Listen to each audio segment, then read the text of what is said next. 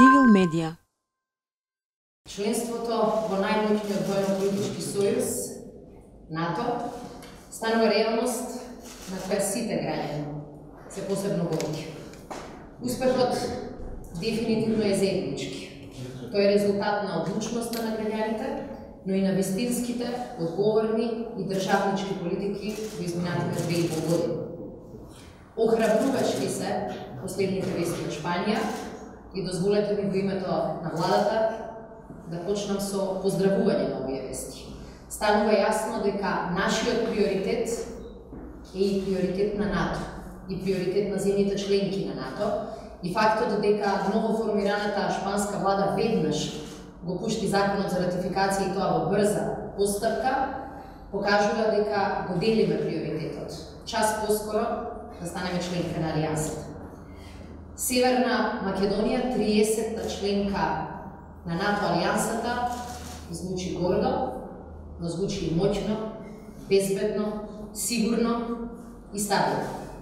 За нашата земја ова е историски, а за нас генерацијски успех и тој представува исполнување на стратешка цел на многу претходни генерации во сиве изминати речиси 30 години.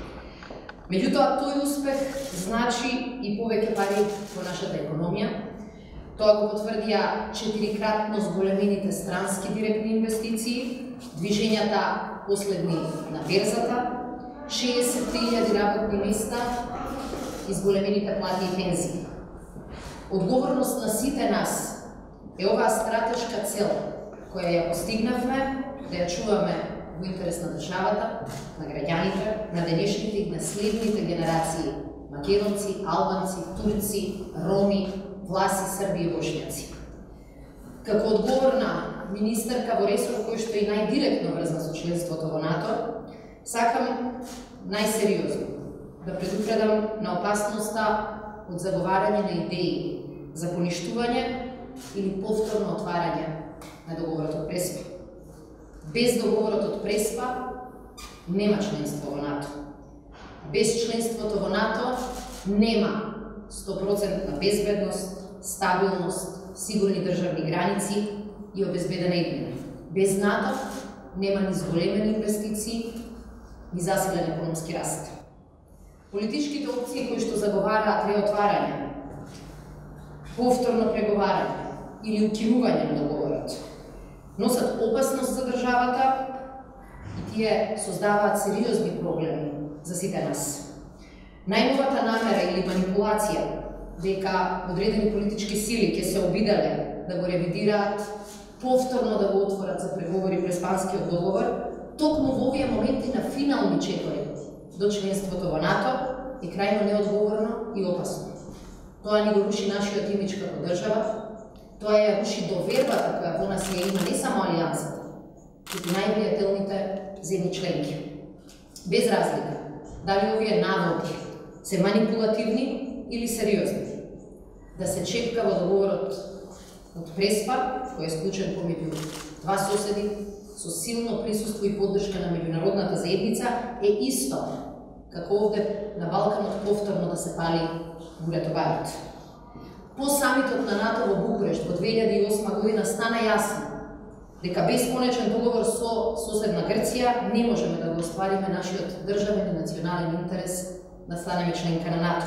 Ова беше официјална позиција и на Алијансата, и на најмоќните држави.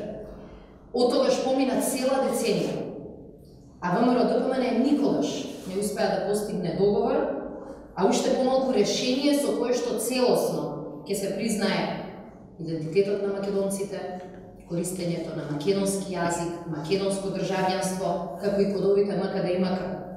По демократските промени. Токму оваа политичка влада успеа да го исполни државниот сон и постигна договор за најпосле решавање на овој спор кој со децении не држи на дното. Тој договор не случајно беше поздравен не само од целокупната меѓународна заедница, туку и од пратеници и советници и на ВМРО да ДПМН. Поништувањето на договорот би не враќало назад не години, туку повторно децении, во нова неизвестност и во нова изолација. Тоа не смее да се дозволи бидејќи сеќавањата за тој период се уште се свежи кај граѓаните. Дозволете ми да искористам оваа прилика повторно да ги повикам пратениците на ВМРО да ДПМН да го поддржат законот за одбрана.